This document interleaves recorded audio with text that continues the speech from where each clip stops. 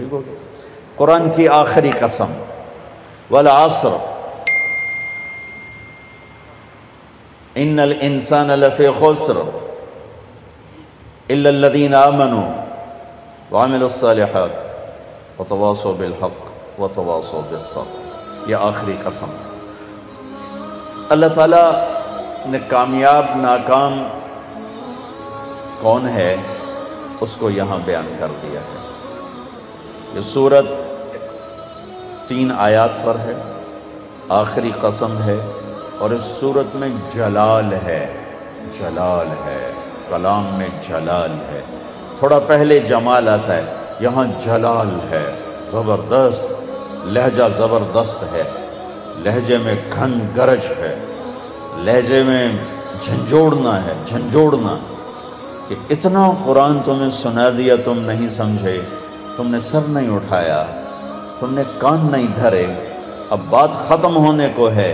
तो मैं सारे कुरान को समेट के तीन आयात में बंद कर रहा हूँ। अब कान खोल के सुनो, वरना हमेशा की तबाही और बर्बादी मुकद्दर बन जाएगी। सारी दुनिया के इंसान नाकाम हैं। कोई कामयाब भी है? हम कामयाब हैं। कौन? आमनु, जो ईमान लाए, काफिर निकल गए। वामिलसालहात जिन्होंने अमल अच्छे किए, ईमान वाले निकल गए। व तवासो बिलहक़ जिन्होंने हक़ की दावत दी, अमल वाले निकल गए। व तवासो बेसब्र जिन्होंने सब्र की दावत दी, दावत वाले निकल गए। हर जगह नाकामी का मफहूम बदलता जा रहा है। सबसे जाकर आखिर में कामिल कामयाबी का परवाना मिल रहा है।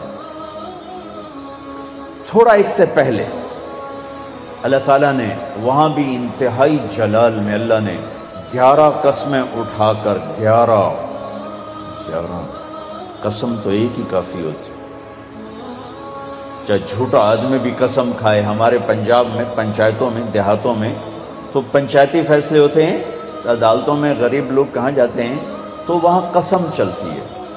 तो अगर कोई कसम उठा दे तो वो झूठा भी हो तो कहता वह ठीक है जी हूँ ये जाने ते रब जाने असी जी गल मुका छी ठीक है जी, अल्लाह जाने तो रब जाने कोई गल नहीं, आपे अल्लाह जाने वो कसम इतनी ताकतवर चीज़ है कि झूठी कसम उठाने वाले को भी कहते हैं अच्छा जो, ठीक है, जा, माफ़ की और जब कसम उठाने वाला अल्लाह हो, जिसे कसम उठाने की ज़रूरत ही नहीं है, और जब एक कसम ना उठाए, ग्यारह ग्यारह जितनी कस्में उठाता जाता है, वज़न वल आसर एक कसम। वहा वल्लैल दो कसम। वल्लैल इदा यक्श वनहर इदा तजल्ल, वमा खलक ज़कर वलउन्सा तीन कस्में। वसमा इदातुलबरूज वलयोमलमऊद व शाहिदन व मशहूद, चार कस्में। वलफज वलयाल अशर वशफ़ वलवतर वल्लैल इदा यसर, पाँच कस्में। जैसे जैसे कसम बढ़ती है, वज़न बढ़ता है, वज़न बढ़ता है। सबसे ज़्यादा अल्लाह ने जिस मजमून में वज़न डाला है, वो कामयाबी और नाकामी है। कि कामयाब कौन है, नाकाम कौन है? क्योंकि हमारे जहनों में समाया हुआ है, जिसकी तजारत चल गई, ये जो मेमन है, इनके यहाँ तो मेमन क्या शेख सर चलो, राजपूत भी ले लो, मैं अपने आप को भी बीच में शामिल कर लूँ। सबका एक ही ईमान बन चुका है। तिजारत चल गई तो कामयाब, तिजारत नहीं चली तो नाकाम। इसमें मेमन कुरैशी सब बराबर हो गए। तिजारत चल गई, कामयाब। तिजारत नहीं चली, नाकाम। ये मफहूम है, ये मफहूम है। इज़्ज़त कामयाब, नहीं मिली, नाकाम। पैसा मिल गया, कामयाब। नहीं मिले, नाकाम। अल्लाह ने इस बुत को पाश पाश किया है। ग्यारह हथौड़े मार ग्यारह कस्में उठा ग्यारह ग्यारह। अल्लाह की कसम, पूरे कुरान में ग्यारह कस्में नहीं हैं। सिवाय इस एक जगह के, कि कामयाब कौन है, नाकाम कौन है। वह शम्स व दोहा, मुझे सूरज की कसम, मुझे रोश, उसकी रोशनी की कसम। व शम्स व दोहा वलकमर तलाहा, मुझे चाँद की कसम जो पीछे आता है व नहर ईदा झल्लाहा, मुझे दिन की कसम जो रोशन करता है। वल्लैल इदा यशाह मुझे रात की कसम जब वो छा जाती, पाँच। व मुझे आसमान की कसम अब अल्लाह ताला यहाँ जलाल में आते हैं और अपने आप को शामिल करते हैं। वमा बना मुझे आसमान के बनाने वाले रब की कसम, वल अर्द, मुझे ज़मीन की कसम, वमा तहा ज़मीन के बिछाने वाले रब की कसम। नो, व नफ्स, मुझे तेरी जान की कसम, वमा सवाहा तेरी जान के बनाने वाले रब की कसम। ग्यारह कसमें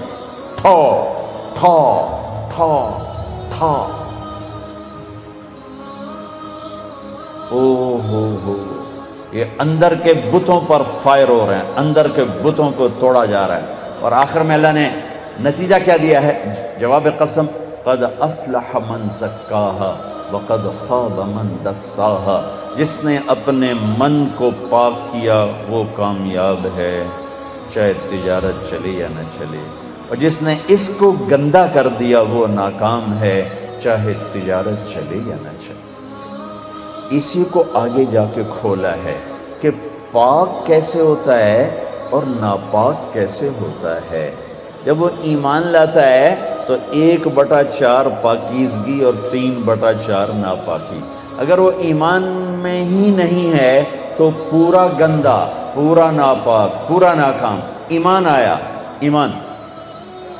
एक बटा चार, पाकिजगी तीन बटा चार, गंदगी।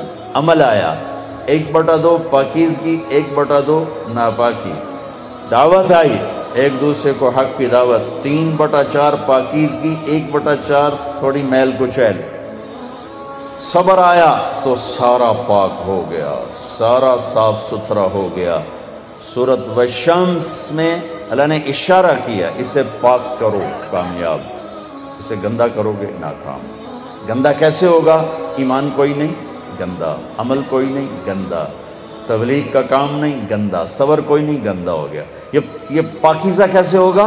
अमल ईमान बनाओ, अमल बनाओ, दावत बनाओ, तबलीग बनाओ और सबर बनाओ। ये चार काम मर्द औरतों पर करने ज़रूरी हैं। इसके बगैर ना कोई मर्द कामयाब है, ना कोई औरत कामयाब। वल आसर, ये अजब कसम अल्लाह ने उठाई। वल आसर, मुझे ज़माने की कसम, ज़माना चूँकि एक रफ्तार से ज़माना नहीं बदलता, इंसान बदलते हैं।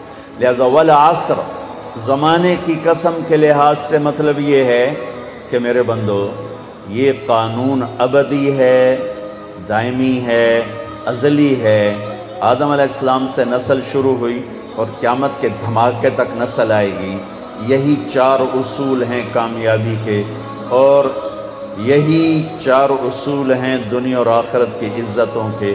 और इन्हीं को छोड़ देना ही नाकामी है, चाहे ज़माना माजी हो, हाल हो और मुस्तबल हो। वल आसम, ज़माने की कसम, ज़माने की कसम। इन्हीं चार के साथ पार निकलोगे वरना नहीं निकल सकते। वल आसर, मुझे असर के वक्त की कसम।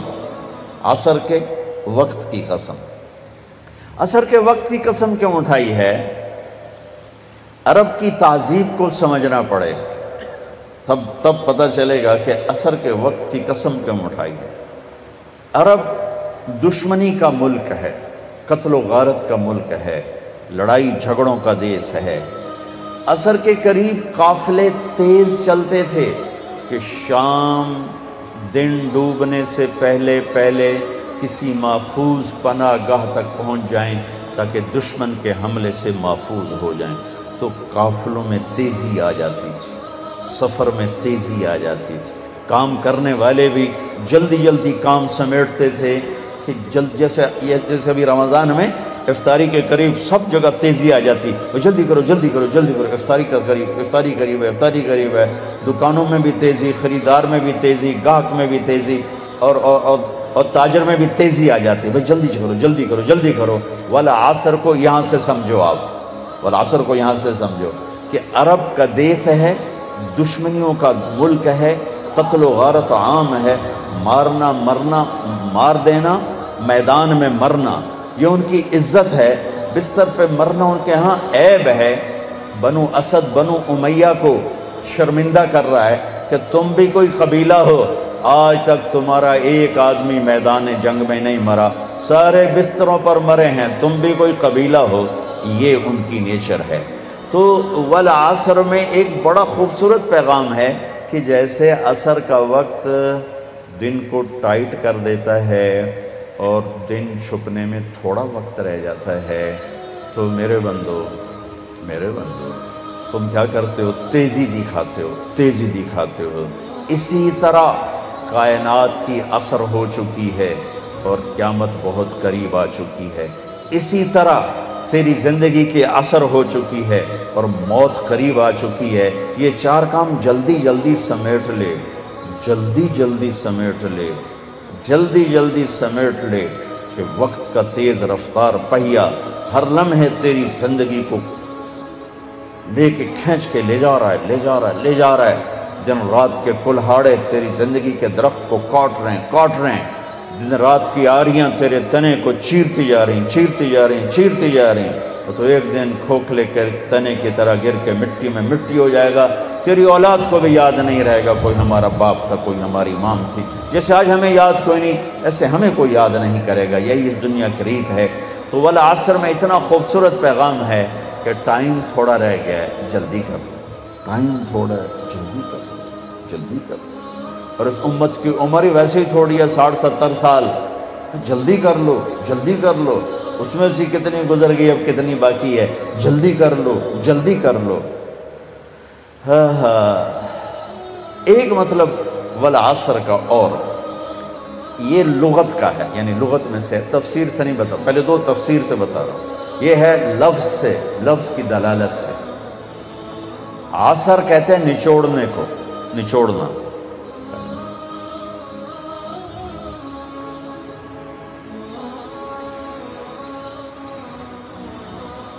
आसर निचोड़ना।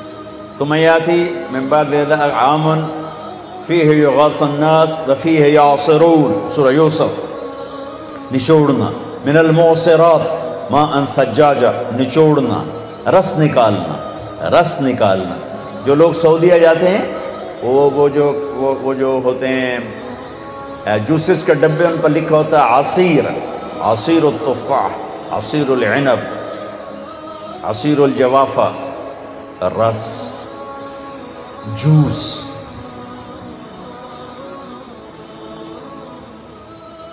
जूस में क्या खूबी है? ये गिलास है ना? इसमें एक आम नहीं आ सकता। इसमें एक माल्टा डालो, ऊपर ही फंस के खड़ा हो जाएगा। लेकिन इसी में चार माल्टों का जूस आ जाएगा। चार छोटे छोटे माल्टों का जूस आ जाएगा, दो माल्टों का जूस आ जाएगा। एक आम अंदर नहीं जा सकता, लेकिन दो आम का जूस निकालो, तीन का निकालो तो इसमें समा जाएगा। चीज़ ज़्यादा को सुकेड़ कर, छोटा करके पेश करना। तो एक इसका मतलब ये बनता है कि मेरा रब फरमा रहा है, मैंने तीस पारे तुम्हें कुरान सुनाया।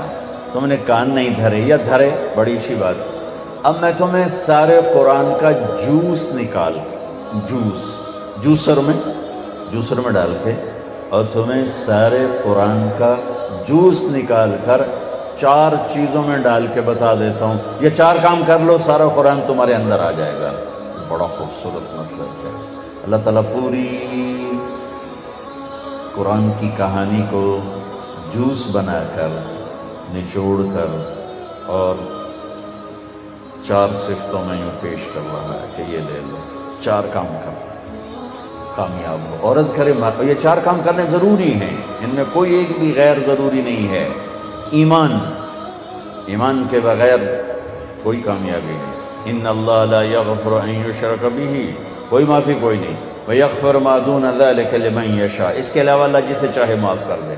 तो भाई वो पहली बात है ईमान बनाओ। ईमान का इतना दर्जा हासिल हो जाए, इदा सर्रत का हसनतन वसात का सैतन फ़न तमूमिन नेकी करके खुश हो और गुनाह करके पशेमान हो तो आप ईमान वाले हो। ये दर्जा अगर हासिल हो गया तो ईमान के पास होने वाले नंबर आ गए। तैतीस नंबर आ गए। तैतीस नंबर कोई फ़ख्र की चीज़ नहीं होती, लेकिन फेल होने का ताना तो नहीं दिया जा सकता।